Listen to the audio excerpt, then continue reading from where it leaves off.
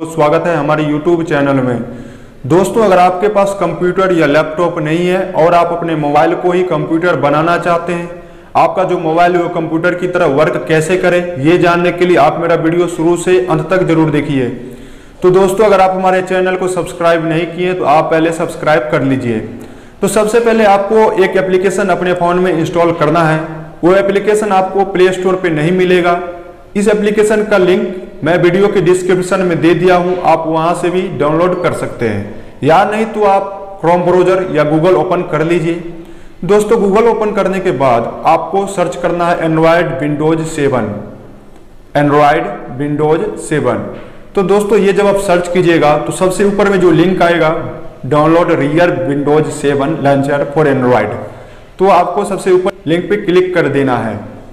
यहाँ करने के बाद कुछ इस तरह से ये, जैसा कि आप देख सकते हैं, ये तो सबसे नीचे आपको आना है। सबसे नीचे आने पे एक डाउनलोड का आपको ऑप्शन मिलेगा। जैसा कि आप देख सकते हैं डाउनलोड विंडो लॉन्चर ठीक है?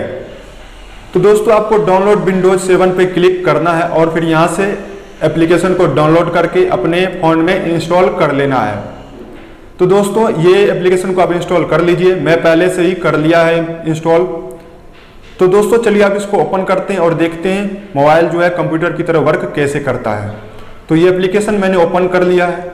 तो दोस्तों, आप देख सकते हैं, ये मोबाइल जो है आपका कंप्यूटर में कन्वर्ट हो जाएगा, आपका मोबाइल जो कंप्यूटर की तरह वर्क करेगा।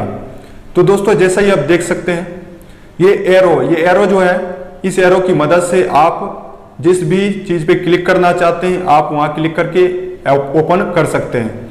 तो दोस्तों, सबसे ऊपर आपको कंप्यूटर मिल रहा है और फिर settings recycle program internet clear phone message तो दोस्तों, यहाँ से आप कंप्यूटर पे जब आप क्लिक कीजिएगा तो ये देखिए कंप्यूटर पे क्लिक करने के बाद, बिल्कुल कंप्यूटर की तरह विंडोज़ की तरह, ये आपका जो मोबाइल है, इसमें भी लोकल डिस्क सी और लोकल डिस्क डी की तरह आएगा। तो यहाँ से आप अपना फ़ाइल ओपन कर सकते हैं और फिर कंट्रोल पे कंट्रोल पे क्लिक करने के बाद देखिए date display sound input application Bluetooth storage ये बहुत सारा यह है यहाँ पे ऑप्शन तो आप यहाँ से ये देख सकते हैं आप यहाँ क्लिक करने के बाद आपको जो भी ओपन करना है, आप जो है ओपन कर सकते हैं।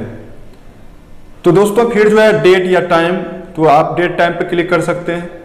सेटिंग्स कुछ सेटिंग्स करनी है फ़ोन में तो यहाँ सेटिंग पे क्लिक कर सकते हैं। इंटरनेट के लिए इंटरनेट पे।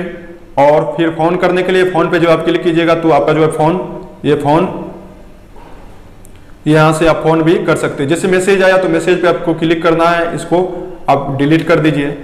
और नीचे वाईफाई वाईफाई पे क्लिक करने पे आपको वाईफाई भी आ जाएगा और वाइब्रेशन वॉल्यूम अप डाउन ये देखिए वॉल्यूम अप डाउन कर सकते हैं आप यहाँ से। तो दोस्तों, ये जो है एप्लीकेशन बहुत ही बढ़िया एप्लीकेशन ये आपके फ़ोन के लुक को काफ़ी चेंज कर देगा। आपका जो मोबाइल है वो कंप्यूटर की तरह काम करने लगेगा। तो इस एप्लीकेशन को आप जो इंस्टॉल कर लीजिए और फिर अपने मोबाइल को कंप्यूटर की तरह वर्क कीजिए कंप्यूटर की तरह वर्क कीजिए अपने मोबाइल में।